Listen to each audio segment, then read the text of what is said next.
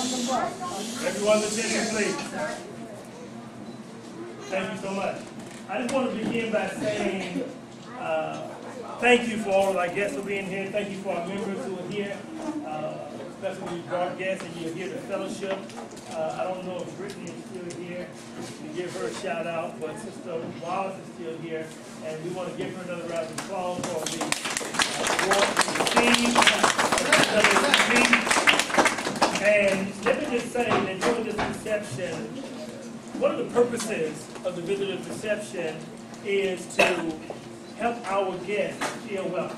Man, But not only that, it's also an opportunity for us to deepen our fellowship and to deepen our relationship with one another. So not only are we going to be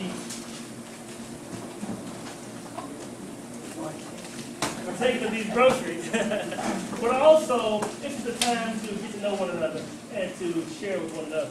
So again, to our guests, we appreciate you for being here, and I believe uh, the ladies are coming out as my signal that we're probably ready to get started.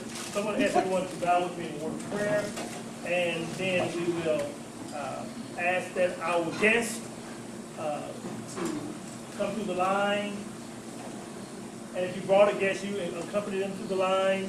Also, our seniors, we want you to come to the line first.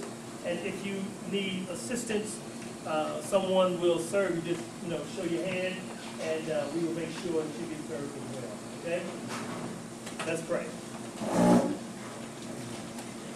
Heavenly Father, we thank you so much for your grace and mercy in our lives. man, Thank you, to God, for affording us more time on this earth. Help us to live each moment to its fullest. Help us to glorify you as we exercise proper stewardship of our time. And we thank you, to God, for those who put time and effort in to making this reception uh, a reception that really uh, glorifies you.